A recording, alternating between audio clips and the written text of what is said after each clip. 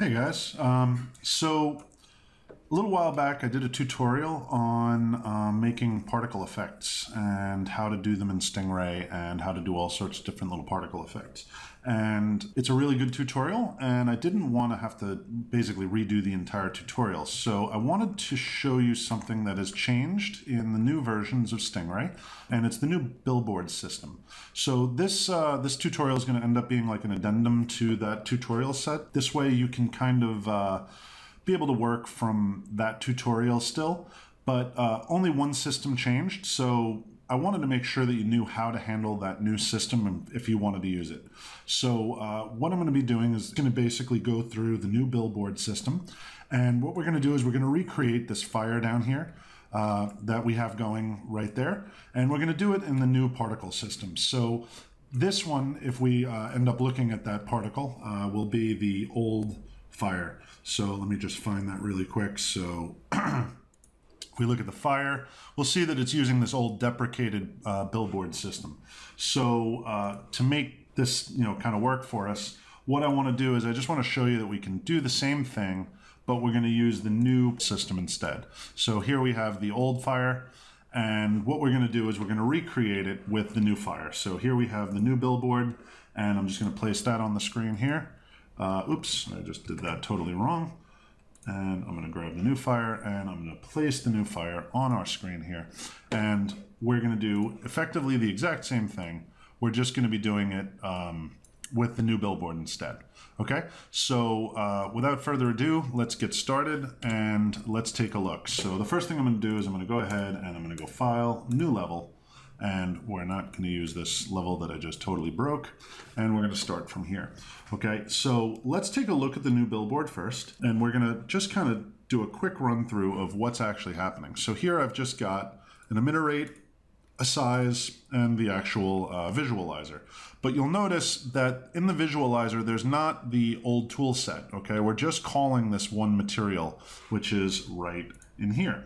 So in the new system all of your controls for your UV animations and everything else are going to really happen here, okay, um, in our in our material setup. So the material is going to be the, the driving factor of the new billboard system, which is in a lot of ways a lot more clean and gives us a lot more flexibility.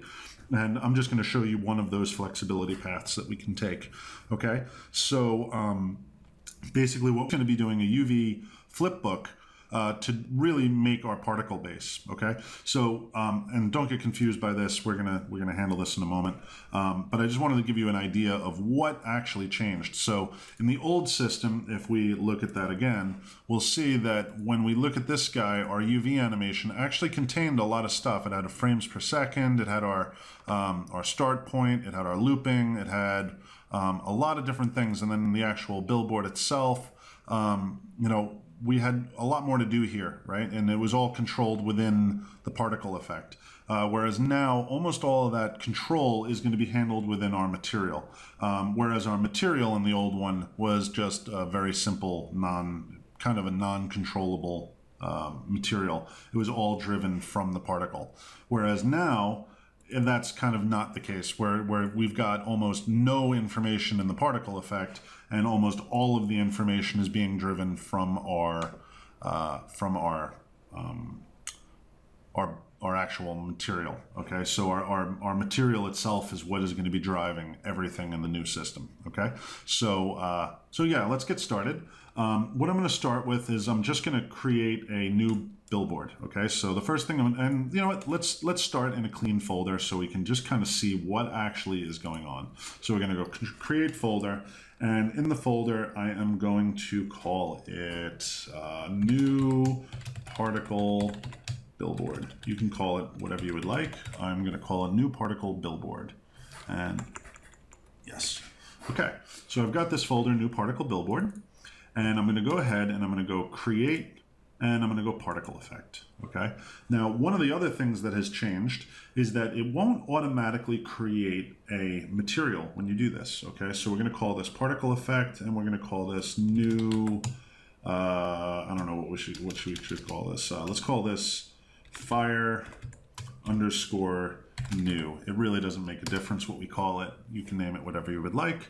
Um, and we can go ahead and take a look at that. But notice that it didn't actually create a material here, okay? So that's one of the new things. It's a, it's a little difficult to get used to because you don't have that material. And I'm going to show you a trick as to how to get to that material in a moment. Um, but for now, just realize it's not going to auto create you a material anymore because it doesn't necessarily depend upon it. Um, there's a, a built a one built into core which it references back to. And when you want to create your own it can be a little tricky to find that that particle so uh, or that material. So i'm going to show you a trick as to how to get to it and how to grab it and put it into your own project so you can edit it Okay, so um, so yeah, so here we have our system, just as we always did, and here you can see that it automatically attaches this new billboard visualizer, and here you can see that it's giving you that um, that particle default. Okay, so that's the first thing we're going to want to do is we're going to want to go to that that particle default, and this is what I was saying. We're gonna I'm going to show you a trick as to how to grab that and put it into your project so that you can use it in the future, um, which isn't quite so obvious. So what happens is we can use this go to resource, okay? And you're gonna see that it's gonna send you back to Volcano Core, which is where your Stingray is installed. Then it's gonna look in Stingray Renderer and shaders. But when you first go there, it's gonna be a blank page, okay? And that's because you don't have all of your ability to see everything. So in your little gear over here, we can say show all files, okay? So when we say show all files, we can now see all the different files that are in this folder. And the one that we care about is the one that is actually highlighted, which is gonna be particle default and then it's material. Okay, so what we want to do now is go right click, uh, show an explorer here. So show an explorer, and we can double click on our shaders and we can grab our particle default material and we're going to go right click and we're going to go copy. Okay, so now it's copied in our clipboard. We can close that now. And now we want to navigate back to our volcano uh, or whatever your project root is. And we're going to go content. And in my case, we're going to go effects and we're going to go new particle billboard. And now here what we want to do is go right click and we want to go, um, I'm sorry, grab anything in here and we're going to go right click and show an explorer. Okay, and that's going to take us to our folder here. And now what we want to do is just go right click and paste. Okay, so now we've got that particle default material here and we can rename that to whatever we would like. So let's name it um, new, uh, I'm sorry, fire underscore new. I'm just going to name it the same as my particle so that it's nice and relative, okay? So fire underscore new, and now we have access to that particle material. And now we can go ahead and turn off show all files, and we will just see the two pieces that we need, okay? So, um, so that's basically the easy way to get to that resource and put it into your project. Now, once we're here, let's go ahead and set that material in our particle billboard. So grab our, our particle editor and let's grab the billboard visualizer. And instead of using this default one, which we can't really edit, what we're gonna do is we're gonna kill that and we're gonna drag our fire new material into that resource. Okay, so now we can actually edit that material and we can make this work. So now that that's all set, what we want to do is just take a quick look at our material and see what the default kind of set us up with. Okay, so let's go ahead and open up this material and let's just kind of see what's happening here. Now, you'll notice that there are some interesting things with this type of material. Um, the first thing is that we're using this special um, base called particle base. So if you were to wanted to create this on the fly and you didn't want to use uh, the method that I just showed you where you're copied and pasted, um, you might be like, well, how do I set up this, this whole particle? So I'm just going to show you the base right here. It's going to be add, and we're going to go um, output and we, we would pick particle base. So this is the base and this is necessary for any type of a particle. Okay, so this is like kind of the root node of a particle uh, effect. So anytime you want to create a particle material, you need to use this particle base. Okay, so that's the, the first caveat. Now, it came with that because we copied it from that, that root, um, which I would recommend you do, which is why I'm kind of showing you that method because it makes it a little easier. Um, and there's a couple other things you would want to know. Okay, so like the billboard size, notice that when you do the particle base, you have this input for particle size. Okay, so you want that to be um, to be known, right? So we have to grab this other node, which is billboard size. Well, where do you get that from? So if we go into add, we will see that there's a new subsection called particles, okay? And here we can get a couple basic things like particle size, particle rotation, or I'm sorry, billboard size, billboard rotation, and billboard position. So these are all relative to our billboard okay? And here we're going to use the billboard size, which is what controls the size. And the reason you need that billboard size driven is when you're looking at your particle, so if we were to look at our particle editor and look at the size, we can do things like scale over time and do all sorts of different things like initial size and all that stuff. Um, if you don't connect billboard size to here, you will not get that to happen um, and you won't have your particle effect work. Okay, so any of those size inputs all drive this input. Okay, so that's really kind of critical. Um, the other thing you'll notice is that we have a color. Okay, so if we want this color to drive off of this color, this is what you use. So this color zero is called a vertex color, and we get that under add vertex inputs, and color zero. So if we wanted to drive that color, this is what you need. You need that unit or that node, okay?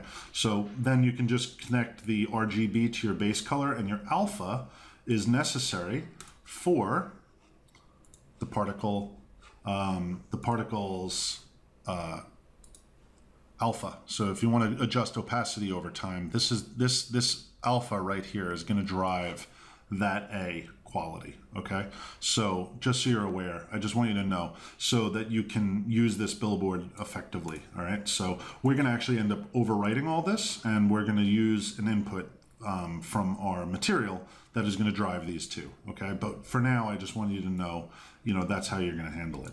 Um, and if we wanted to just have a material, we could just have a material drive this. It doesn't really make a difference. We're actually going to do a little more than just a material. We're going to do a material with an animation, um, but that's actually a step further. So, uh, so yeah, so that's basically it. We have this billboard rotation, which, as the billboard rotation suggests, is going to rotate our billboard. This is going to also be used in anything where we would put a rotate. So if we put a rotate node in our um, in our particle like random, right? This random is going to drive this billboard rotation. So this billboard rotation may or may not be critical to your particle, but I just want you to know that uh, this rotation is driven from your uh, any of your rotation nodes. Okay, so this will drive that. Okay, so um, that's basically it. That's basically the long and the short of what we need to understand to get started. Uh, I just wanted you to kind of see where we were at. Okay, so for now, we're just going to leave this as is, and we're going to close this down, and let's start working with our actual, um, our particle to kind of get in into a spot where it's going to be sort of useful to us. So the first thing we're going to need to do is grab our particle uh, emitter, and we're going to get rid of that rotation. We're not going to need it. So we're going to remove that, and we're just to uh, put this guy on screen. So let's go place, and let's put it on screen, and now we can start editing it. So the first thing I know we're to want is to have this size a little bigger so we can actually see what's happening. And let's kind of zoom in a little bit, and we can see that we're still getting some rotation qualities. That's because I haven't saved yet. Uh, once I save, we should find that that will go away. Oops, I placed it twice. Let me delete that one and just move this guy a little bit to update it. And there we go. Okay, so now we're getting our billboard to present. And what we're gonna wanna do now is start to apply some of our materials. So let's jump into that material editor and let's actually get started here a little bit. So like I said, we're not going to really use this color zero. Um, this is great if you want to just drive your color from your particle editor. So if you want to drive your color, you can just go ahead and change your color to, I don't know, red and save it. And we should be able to see that our particles are now red. And one thing that I want to do is, and you shouldn't do this, you have, you have to use this specific function very carefully uh, because infinite lifetime can be extremely dangerous. Particles can just take up a lot of memory, and if you just keep them on all the time, uh, they can be a problem. Now, it's useful, but you just want to make sure that you do kill it if you um, are doing this in a game. So make sure you if you're going to turn on infinite lifetime, you have to actually manually destroy it. So make sure you destroy it properly uh, if you're going to go into infinite lifetime. I don't want to get into that too much, but just something you should be aware of. Infinite lifetime, uh, you know, can be a problem, especially if you're spawning lots of them. Uh, they won't ever die. So uh, even if your particle effect just does you know one thing, it will still live in memory. So you have to make sure you destroy anything that's got this uh, particle lifetime uh, set to infinite. So we're gonna just leave it like that for now because for our purposes, we just wanna see it kind of play back. Uh, and this will leave it up on our screen forever. So uh, that's what I, I kind of want for the moment. Um, and for something like a fire, that's going to be probably what we're going to do. We're going to spawn it once and just leave it on, and that's fine. Uh, it's when you're spawning multitudes that you have to be careful with that infinite lifetime. Okay, so without further ado, let's uh, let's move forward. So now what we want to do is go into our material itself and we're going to open this guy up and I'm just going to double click it.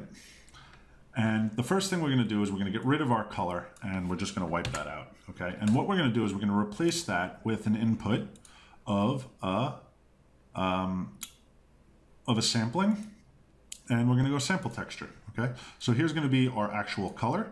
And what we're going to do is we're going to drive the base color off the RGB and we're going to drive the opacity. In this case, I'm going to drive it off of R because that will do the job for me. Uh, if you have an alpha channel on your sample texture, you can use A by double clicking this guy and pressing A and that will drive your opacity. But because I have a black background, I want to make sure that I'm just driving the opacity off of one of the RG, RG or B channels. So I'm just going to change this to the R channel, okay? Um, because like I said, my, my material doesn't have uh, an alpha channel, so I'm just going to drive it like that. Okay, so uh, that's going to drive my opacity and my base color is going to be driven off the RGB. Now I need to have uh, the UV set up. So because this is going to be an animation, I'm going to go add, utility, flipbook. Okay, and the UV from the flipbook is going to be this RG, which we're going to drive into that UV. Okay, so now we're pretty much set up. We're going to set our FPS to whatever FPS we would like. In my case, I'm just going to set it to 30 because I like, you know, 30 is a good solid number uh, for an animation. But if you really care about it being higher, you can set this to 60. It's really not going to make much of a difference.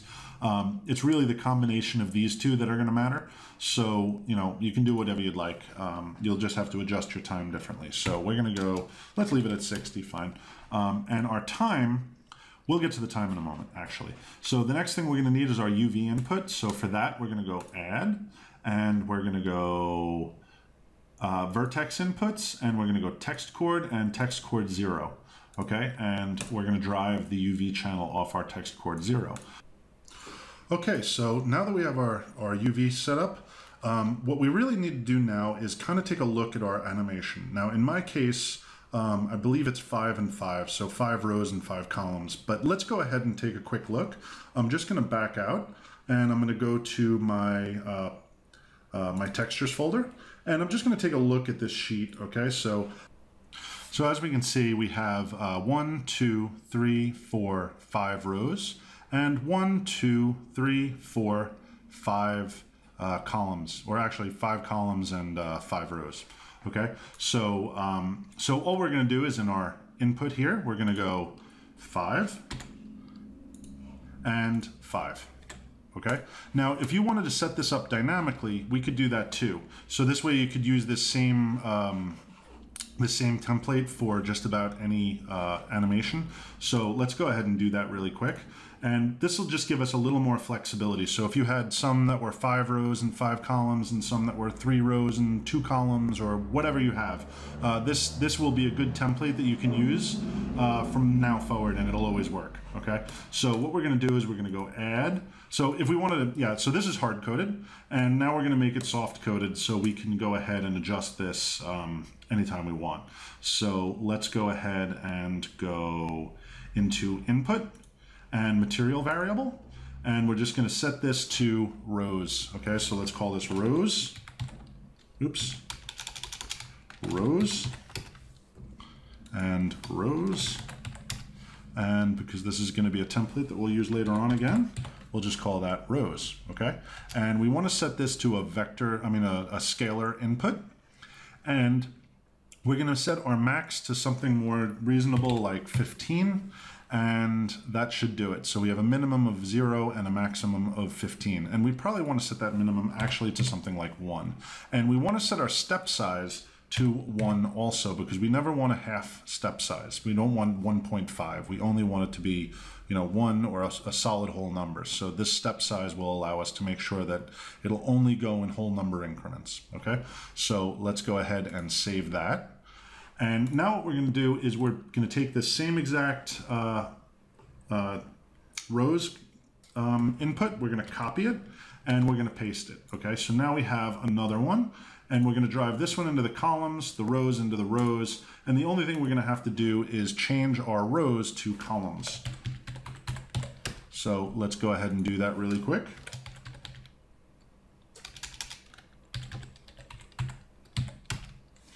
And columns. Okay, so now we've got our rows and columns, and now what'll happen is, so let's just, uh, let's set our time. Actually, we have to add the time still. So let's just add the time.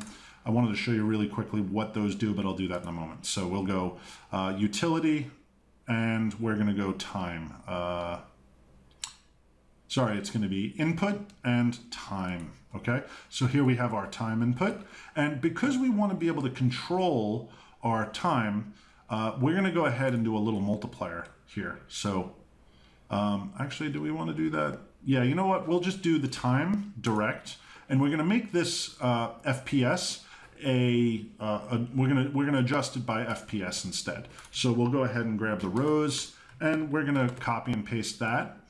And this will be our speed or our FPS. So FPS, and we're gonna go FPS. I had done it a little differently the last time, but this will work actually a little bit cleaner and I think it's going to be a nicer way to handle the problem. So we'll see. If it doesn't work, I'll go back to the time input uh, multiplier.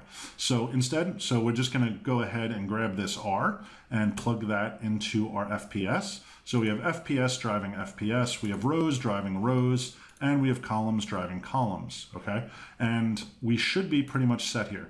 Um, now, let's take a look at our actual material now. So I'm just going to select our particle editor and just go back to our, um, our material. So we're now going to see that in this little list, we have our texture input, which is going to be our billboard. We're going to have this uh, FPS, which is going to drive our speed.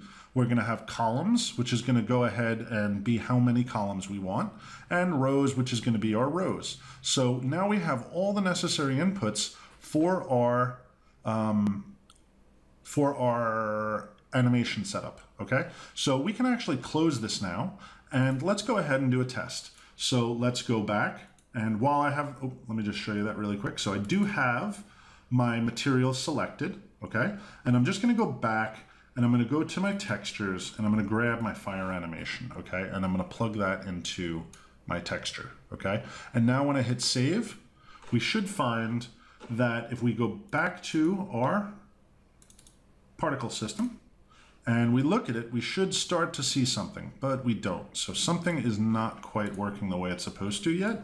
Let's, uh, let's find out what's happening here.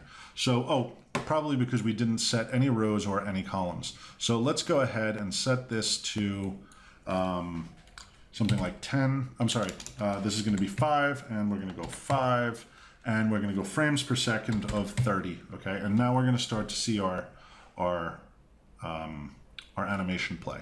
Okay, so I did notice that we are not getting the slider to work properly. So let me take a look at that. Let's go uh, 5 again. And let's go save. And let's open up this shader graph really quick. So I think what we're going to need to do is set this to slider, number slider. Okay, so let's save that. Let's set our columns to number slider. And let's set our FPS to a number slider also. Um, what else did I see that was a problem? I didn't think there was any other problems. I think outside of that, it's actually working well. Oh, our frames per second, we weren't able to drive high enough. And that is going to be because our max is not great enough. Okay, so let's set this to something more like 100 so we can really ramp that up in speed. And this one, we want to set our increments of 0.01. Okay, so let's do that. So that should do it. And let's take a look again at our material slider. So I just want to make sure this is actually going and yes, this is now working with increments of one. Okay, so notice now that we're not getting those point differences, which we don't want. Uh, instead, we're getting solid numbers. Okay, so now we can see that when we set it to 5 and 5, which is what we know we need for this animation, um, we're going to get the playback to work properly. So it's got the proper number of columns and the proper number of rows. It also has an adjustable FPS, which should increase or decrease our speed, which it does. So here we can see I can crank it up to 100 FPS and it'll play it really fast or I can slide it way down and we should get very slow playback. Slow playback. Okay, so this is now working as expected. Um, and we should be pretty much rocking and rolling here. So let's just take a look at the material and see if there's anything else we can do to make this a little bit better. Okay, so the one thing that I was thinking is that we might want to do is drive the emissivity. So let's go ahead and do that. Um, let's back these guys out a little bit to give us some room. Okay, and what we're going to do is we're going to add a multiply. So we're going to go add math multiply. And we're going to drive this into here. So we're going to make this an RGB value, RGB. So I double clicked that line and said RGB. And we're now going to add a scalar input, input, and material variable. So we're going to grab another scalar variable. So we're going to go scalar. And we're going to set um, this to also to a slider, just because I personally like the sliders. They seem to work nicely. Um, and I'm going to set my max to something like uh, probably 30 will be plenty enough. Um, and I'm going to leave the step size of what it is, okay? And now what we're going to call this is, um, let's call this uh, emissive amount. Okay, and we can do that, and we can copy, and we're going to paste it, and we are going to paste it again, okay? So save, and that should do it. We're going to drive the red value into this B. So what happens is when you have a three value input and you go into a multiply or an add or anything else, it's going to take whatever this single value is and multiply it against all three channels. So our red's going to be bumped up, our green's going to be bumped up, and our blue's going to be bumped up in this case. So this is just a really nice way to easily control all the values. If we wanted to, we could set this to a vector input a vector 3, in which case we could actually even hue the color, okay? So if we wanted to, we could, you know, we'll, we'll do that in a moment. I'll, I'll show you that as a, a little side note that we can kind of play with, all right? So we're gonna drive our emissivity into here, and that should do it, okay? So now we should have the ability to increase the amount of brightness of our, uh, of our material, okay? So we're gonna go ahead and close this, and let's take a look at our material again. And we should see now that we have this emissive amount, so we can drive that up. And as you can see, I can make that guy glow really bright, okay? So we can kind of play with that and get it to where we wanted it. All right. Now, um, as I was saying, I just wanted to not not show you. If we wanted to drive this with a color, okay, we can actually drive this with a color. Um, it won't be as effective as doing what we're doing here, where we get that nice brightness to pop up, but we can do some pretty cool stuff. Um, it's just a little harder to control. But if you wanted to also be able to control the tint of that brightness, we can do that. Um, and I'm going to show you how. So let's go back into our material. And for now, what I'm going to do is I'm going to disconnect this emissive amount, okay? And what I'm going to do is I'm going to add another variable. Uh, we're going to call this a input and material variable. And this time we're just going to leave it as an RGB, okay? But what we'll do is we'll set it to a yeah, we can do it as a vector 3 and we can do it as a color, okay? And we're going to save that. And we're going to drive this into here instead. And for now, I'm just going to call this uh, emissive tint, okay? And you know, we can even do something even more clever in a moment. So emissive tint and emissive tint.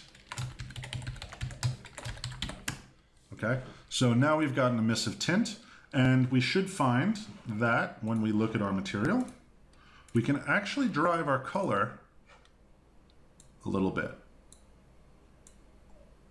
And it's not quite working. Yeah, it's, it's working. It's just not super noticeable. So as you can see, um, as I get in here, you'll see that we're actually adjusting that emissive quality with a tint color instead. So we can see if we go white, it gets really bright. If we go black, it goes dark. And if we put this orange color, it starts to hue it with orange, okay? So one last thing that we can do to kind of drive this even further is we can now go into our material and let's refactor our emissive amount again, okay? So let's drag all this stuff back one more time. So let's grab these guys and drag them back.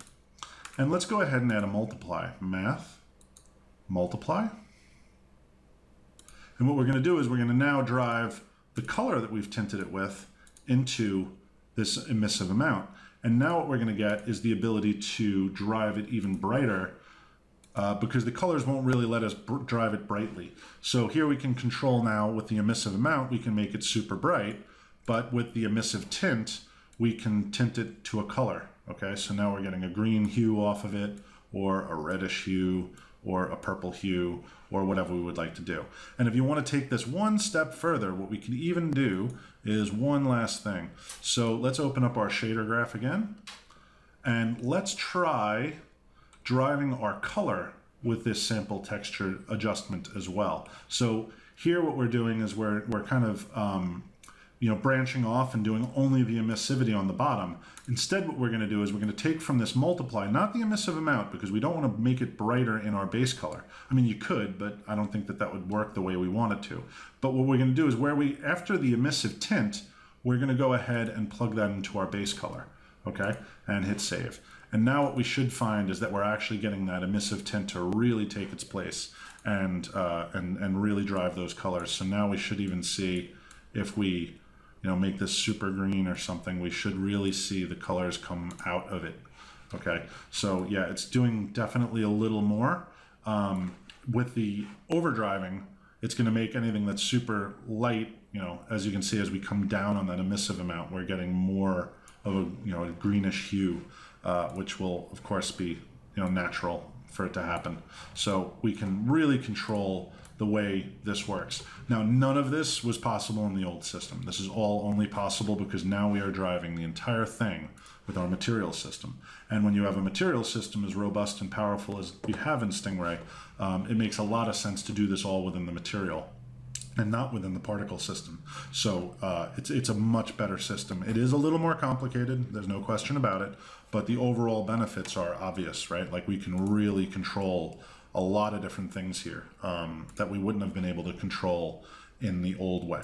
So, um, and what's really nice is once you get a nice graph like this, you can copy this graph and paste it anywhere you want and create multiple particle effects using the same graph. So let's go ahead and do that actually. Let's go ahead and go create a particle effect. And let's call this uh, fire uh, new 2, okay? And I happen to have another billboard to use here. So we can take this Fire New 2 and let's back out. Let's grab our texture and um, actually, I'm sorry, I have to do one other thing first. So I'm going to go FX, um, new billboard. And in here, in this particle effects new, again, we have to change the billboard to use that same material. So we're just going to use this material, okay, uh, in here. So, but before we can do that, if we just drag it here, it'll just be the exact same effect. So what we're going to want to do is go right click, create empty material, okay?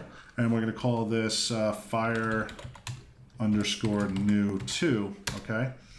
And instead of using an empty, as we have here with the parent resource, we're going to drag fire new two into that parent resource. Okay, so now it's using the same parent resource, but it's not the same. Okay, this is an instance now. Okay, and what that means is that we can now plug into this guy a different texture. So let's back out, let's go textures, let's grab our fire sheet, and let's plug that one into here. And now, very quickly, we can save this guy.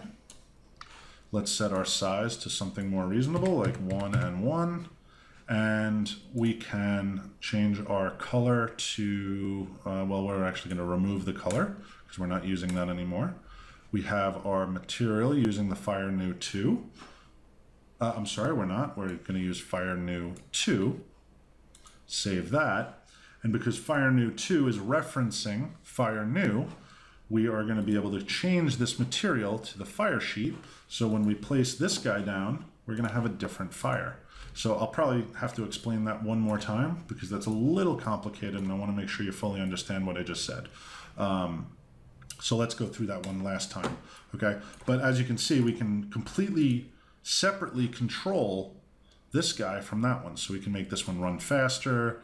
We could make the emissivity amount higher. Oh, that's because the particle effect is still not set to lifetime. So I'm just going to go ahead in here and set it to lifetime so that it doesn't run out on us. Okay, so uh, so here we can see that now the material is totally different, but it's driving the same values, right? We still have our rows, we still have our columns, we still have our frames per second, we have our emissive amount, we have our emissive tint. All the stuff we did in this first one, we were able to easy run into this one, okay? But it's running a different animation. So if we had one that had like you know 10 rows and 10 columns this would still work because we have this column adjustment right? So we can make this work for any uv animation now. Um, and we have a lot of nice controls to deal with uv animations. Um, and it's all driven from this one material because the way the material system works. So like i said i wanted to explain this one last time uh, so that you're fully understanding what's going on here. Okay so Inside of Fire New, we have a billboard visualizer. The billboard visualizer is referencing Fire New 2, but Fire New 2 is using the template of Fire New because we're now, see up in this parent resource, it is driven off Fire New. So what that means is it's going to pick up all the properties, but is staying as a separate instance of that material. Um, and it's just driving off the same parameters. So very, very powerful way to handle this this kind of thing. And what's really nice is we can even adjust, uh, you know, everything individually and it's still using the exact same shader graph. So if you notice it's saying up here, make unique. Instead, this is, a, a, in other words, if we look at the first one, we'd see that it says open shader graph, but on the second one it says make unique. The reason is it is being driven from this one. And unless you, if you want to edit this, you would actually edit this, okay? Whereas this one, if you wanted to, kind of separate it out, you can hit make unique, but you don't really want to do that because if you make it unique, then it's not driving off the same parameters. See, if we go into the into the parent resource and edit the shader graph, oops, I guess it's open already. Sorry about that.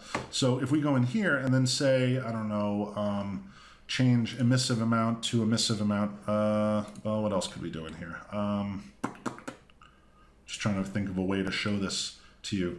Um, let's just add another another material variable just for for uh, making it easy to, to you know to show you here. I'm going to go material variable, and I'm just going to leave this called material variable because I'm not going to actually keep this. If I hit save here, we'll see that both of them get updated.